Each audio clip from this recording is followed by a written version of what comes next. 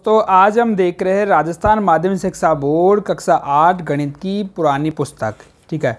जी हाँ बिल्कुल ये वही पुस्तकें हैं जो स्वयं अपने आप में एक नोट्स है।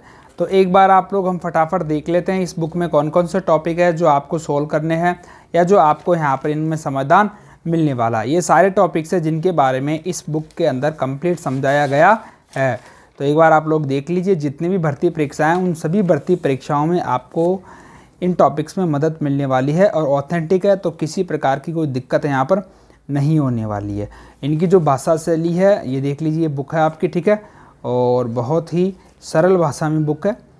और कंटेंट भी इसमें ज़बरदस्त दिया गया है। कक्षा आठ की बुक है और कक्षा आठ की बुक है, लेकिन लेवल इसका बहुत अच्छा दे रखा है। आजकल की पुस्तकों में इतने क्वेश्चंस नहीं हैं, जितने क्वेश्चंस आज से 10-12 साल पुरानी ये जो पुस्तक है, इनमें यहाँ पर कंटेंट दिया गया है, ठीक है? तो अगर आपको ये बुक चाहिए तो हम इसको मामूली से शुल्क के ऊपर आपको अवेलेबल करवा देंगे।